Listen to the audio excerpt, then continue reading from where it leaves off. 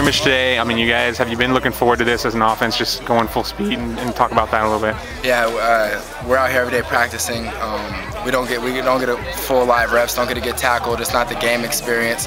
It's not. Yeah, I mean, it's it's just a lot of testosterone built up for this day. You know, we get out, yeah. get to go out here and go full speed. Come out here, we can run our plays, we can execute, we can, you know, do what we've been taught to do. And, and today looked really good. Everybody's getting out on the perimeter. The line did a really good job making gaping holes for our, you know, for our backs, um, giving me time to throw, giving the young young guys time to throw. Getting we had a bunch of good looks today. It just feels good to be out here and go game speed. Sure, being that all the guys came back. I mean, you know, Ramses came back, and you've got all the the seniors on the offense. Yeah. I mean, what's your guys' goal this year in terms of what you want to do? Um, win every game, and uh, it starts by you know executing.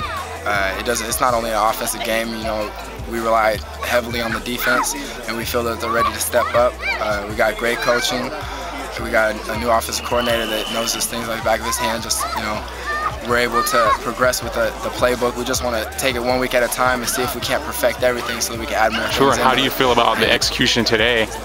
It, it really good, really good. Uh, on a scale of good, great, and magnificent, I, I think we're just shy of magnificent. You know, uh, last year at camp, we, we, weren't this advanced. Right now, we have most of the playbook in, and, and all the concepts are down. You know, and it's not just with our first first team. We have our depth getting everything, and we have our twos capable of running all the plays. And it's just we're, we're really advanced for how far we're in a camp compared to last year. That you, know, you just feel really good about what's ahead of us.